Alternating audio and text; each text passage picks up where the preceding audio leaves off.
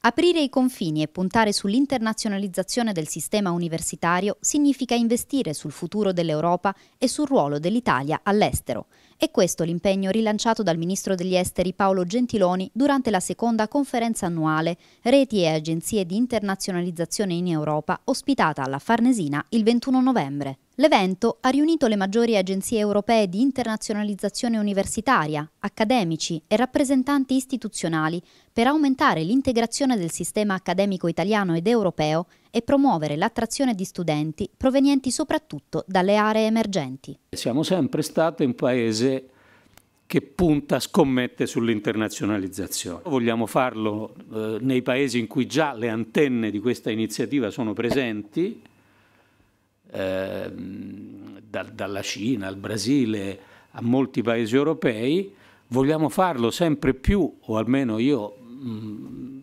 spingerei a farlo sempre più anche nel Mediterraneo, che è l'area in cui oggi c'è più bisogno forse di, una, eh, di un messaggio di integrazione, di crescita culturale, di eh, cooperazione e eh, coesione. Attività di internazionalizzazione nell'ambito formativo significa oggi almeno tre cose fondamentali.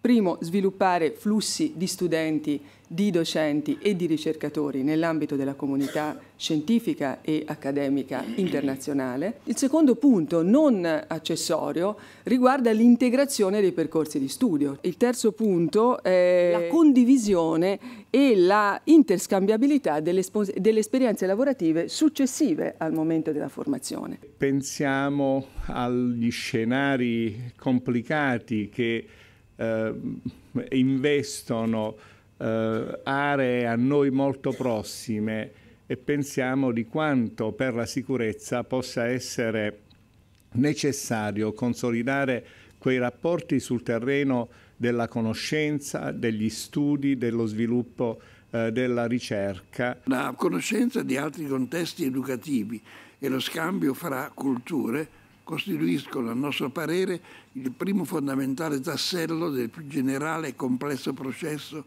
di accoglienza e integrazione delle popolazioni straniere. È per questo che noi di Unitalia abbiamo pensato fosse necessario un momento di confronto con le altre agenzie europee che hanno come compito quello di attirare studenti stranieri